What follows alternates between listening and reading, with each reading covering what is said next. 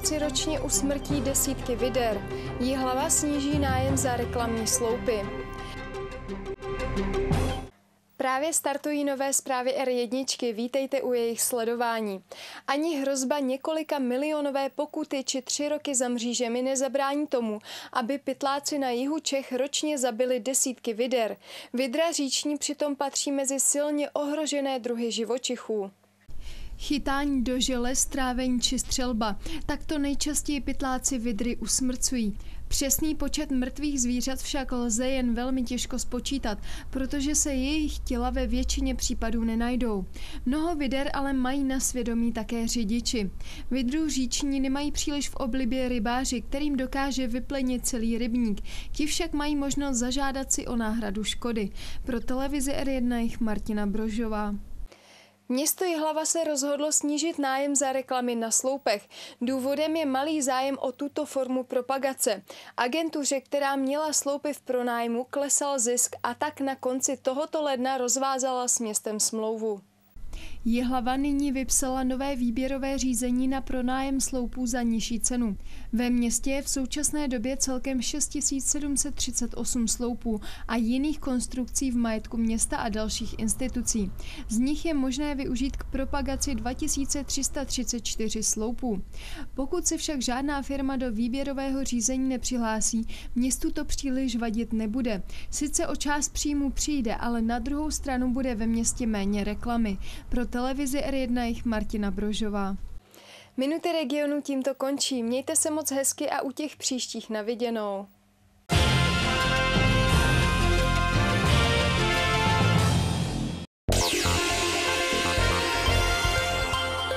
Macwell, jednička v servisu iPhoneů, iPadů, Maců i ostatních značek počítačů. 90% oprav provedeno do jedné hodiny. Zachráněno 9 z 10 vytopených zařízení. Certifikovaní technici provádí opravy základních desek počítačů a tovární odblokování iPhoneů při zachování záruk. Kontaktujte www.iphoneservice.cz profesionální opravy zásilkovou formou nebo osobně na pobočkách v Praze a v Brně. Chystáte se stavět dům? U nás ušetříte na stavebním materiálu až 500 tisíc korun. V zimní akci na cihly Helus máme slevu až 50%. K tomu dopravu zdarma a možnost zavezení materiálu až na jaře. Využijte akci na našem serveru www.nejlevnější stavba.cz a zeštíhlíte tak vaši hypotéku na minimum. KTM Elektrokola CZ. To je nejširší nabídka nejkvalitnějších horských, cestovních i městských bicyklů. Tradice motocyklové značky velí vyrábět kola s těmi nejlepšími parametry výkonu, spolehlivosti a dojezdu.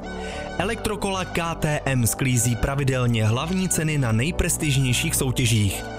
Největší předností je skvělá ovladatelnost, vynikající brzdy, nízká hmotnost a dojezd až 190 km, který je podporován zpětnou rekuperací energie při jízdě z kopce. Nehledejte kompromisy a zkraťte si cestu k dokonalým zážitkům s KTM Elektrokola CZ.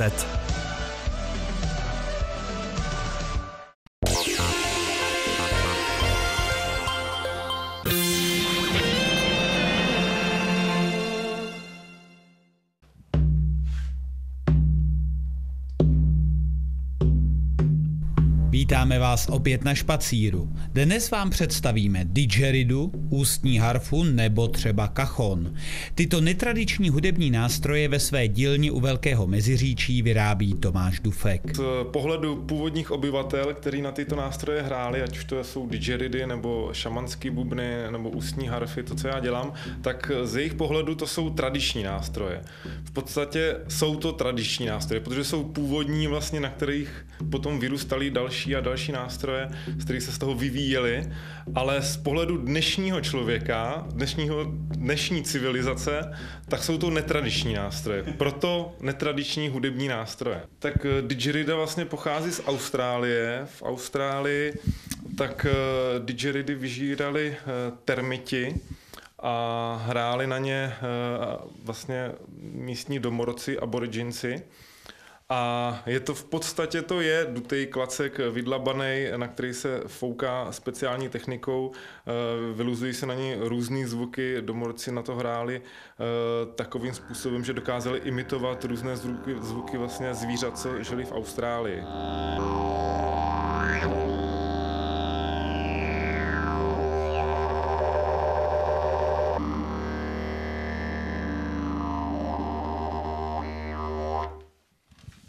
Šamanský bubny, eh, kde vlastně je ta kůže přes přední plochu hranu až na druhou plochu, kde je připevněná výpletem a vlastně je to původní zpracování e, bubnu, nebo ta konstrukce základní je původní zpracování. E, vlastně používalo se při různých šamanských obřadech a rituálech e, v různých kulturách e, v, rámci, v rámci naší země. E, tady tohle, e, tohle to je vlastně už e, trošku, trošku e, vlastně novější konstrukce, řekněme, v rámci historie. Je to, je to prstový buben, na který se vlastně hrálo, hrálo prst prstama, proto ta kůže byla eh, tenčí, byla třeba líp zpracovaná a eh, já je vyrábím kvůli tady našim vlhkostním podmínkám, taky vyrábím laditelný, protože při změně vlhkosti vlastně, když se zvýší vlhkost, tak se ta, tak se ta kůže povolí, takže je potřeba, aby ten buben byl laditelný, abych já, když přijdu do jiného prostředí, tak jsem si mohl ten zvuk udělat eh, takový, jako, jaký já potřebuju. Tady vlastně další věc, co tady mám tady z těch takových doplňkových nástrojů, co vyrábím, tak je ústní harfa. Je to něco podobného jako brumle. Vlastně to je takový ten plíšek, na který se hraje, to možná znají lidi víc. Hraje se na to podobně, akorát se tam rozechvívá tady u toho vlastně ta struna a opět je vlastně pusa jako rezonátor.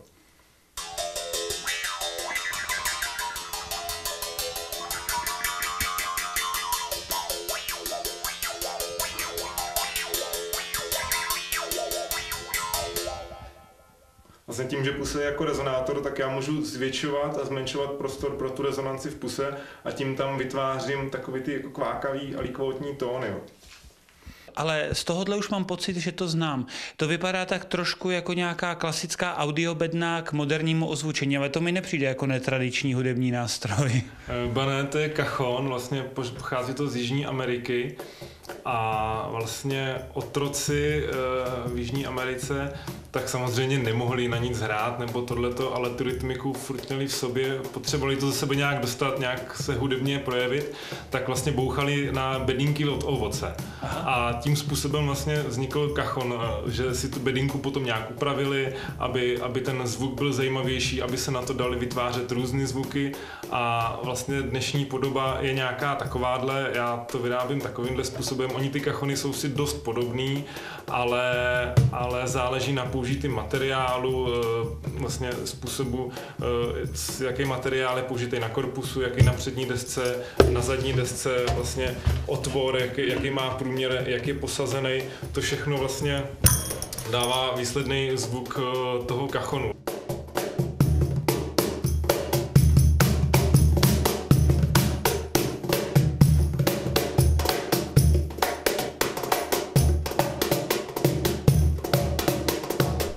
Dobrou náladu vám všem a zase příště na špacíru. Na viděnou.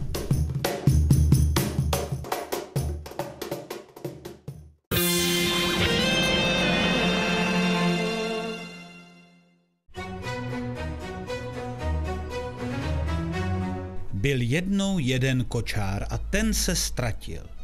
Takhle pohádkově, možná i trochu tajemně začíná dnešní vydání pořadu na špacíru, které odvypráví příběh krále kočárů. Příběh začíná v roce 2007, kdy jsme navštívili v Praze muzeum Praga a tam jsme hledali nějaké dokumenty, fotografie. Bohužel jsme nic nenašli, ale pan Příhoda nám poskytl ze své skříně několik fotografií kočárů po firmě Brožík. My jsme ty fotografie prohlíželi, na jedné z nich jsem objevil jeden z největších kočárů, kdy vůbec byl vyroben. Samozřejmě jsem se zasnil a přál jsem si ten kočár jednou v životě vidět, třeba za 20 let. Utekly dva roky. V době roku 2009 jsme otevřeli muzeum kočárů slavnostně a na podzim toho roku sem ještě přicházeli návštěvníci a jeden z nich nám řekl, že na Jižní Moravě v městě Napajedla je zazděný obrovský kočár. My jsme mu nevěřili, jeli jsme se tam podívat, ten muž měl pravdu. Stál tam vrak, museli vybourat vrata i futra, aby ho tam vůbec dostali. A v kolech toho kočáru, v těch mosazných maticích jsem si našel nápis. Dvorní továrna kočáru Brožík Plzeň. Samozřejmě v té chvíli mě blesklo hlavě, že jsem si vzpomněl na fotce před dvěma lety v Praze toho největšího kočáru Štítek Brožík spojitost men nebo náhoda, to jsem netušil, takže jsem si ten kočár, ten vrak vyfotil, jel jsem zpátky do Prahy, abych fotografie porovnal a když jsem dal k sobě, zjistil jsem, že je to on. Nakonec mi řekli, že celý ten objekt, kde kočár stojí, i kočár samotný je italské firmy. Z Itálie po nějaké době přijel pan Giorgio, majitel samozřejmě, který nám vyprávěl, že kočár koupil před 12 lety někde u Prahy. Převezli ho do Itálie, kde stál v městě Verona tři roky. Nabízeli ho různým společnostem, muzeím, galeriím, ale nikdo ho nechtěl. Nakonec jsme stáli vedle sebe a pan Žoržo vlastně řekl, že kočár může prodat komukoliv, pokud mu dá, pokud mu dá někdo mili na půl korun. Řekl jsem mu, že pokud by byl kočár kompletní, se vším všudy, co má mít, a navíc by karoserie byla v pořádku, ona byla vlastně vyhnilá, byl celý kočár na bok, tak vlastně bychom si ty peníze rádi půjčili a dali mu je. Jenomže Kočár je velmi poškozen, chybí na něm spoustu věcí. I když ho pan Žoržo z části opravil, tak ta cena opravy bude obrovská. Nakonec se cena snížila na půl milionu korun, to už bylo reálné. My jsme však peníze hned neměli. Mezitím to odvysílali veškeré média, televize a samozřejmě volalo spoustu lidí. Jeli jsme podepsat okamžitě smlouvu na toho půl milionu, dali jsme italské firmě zálohu 50 tisíc korun. Když jsme se vrátili zpátky do muzea, tak jsme netušili, co se bude dít. Přicházelo se mnoho lidí, neboť média, které to odvysílali, tak ti lidé to viděli a slyšeli. A přijeli, jeden pán přišel a řekl, pane Obr, náš děda byl kovář. Pamatuju si jako kluk, když na dvoře nasazovali ocelové ráfy. Tady máte 100 korun za dědu. Přijela paní nebo kdokoliv jiný a dávali lidé 150, 200 a tak různě se skládali. A nakonec za dva půl měsíce se dokázal kočár zaplatit. A nakonec to bylo spečetěné a já jsem stál ve své dílně jako každý den a byl jsem překvapen z toho, že v dnešní době, v té komerční době, která nás všechny nějakým způsobem roluje a tlačí, se dokážou ještě lidi spojit. Čili v roce 2010 jsem veřejně vyslovil slib, Řekl jsem, že ten člověk, který sem přijde a přispěje na kočár jakoukoliv částkou, tak bude navěky vepsán do desky, která se uloží v kočáru. Takže ve skutečnosti to dílo se podařilo a jedna dáma, která zde byla, tento kočár nazvala král kočárů. No a když říkáte král kočáru, tak každé miminko má ty svoje míry. Jaké míry má tenhle král? Brožíkův kočár má obrovské rozměry, jeho délka je přes 6,5 metrů, na výšku měří 4 metry 8 cm, jeho váha je 3 tuny a kočí, když si sedne vlastně na kozlík, tak máte hlavu ve výšce 3,5 metrů. Kočár byl vyroben pro město Plzeň, ale dodnes není známo, kdo se jim vezl na své poslední cestě. A to je výzva pro vás. Pokud máte doma staré fotografie, na kterých je vidět historické kočáry, pošlete je do muzea kočárů v Čechách pod Kosířem. Možná díky vám bude i ten náš příběh krále kočárů kompletní. Těšíme se zase příště s opratěmi pořadu na špacíru pevně v rukou. Ať se práší za kočárem. thank you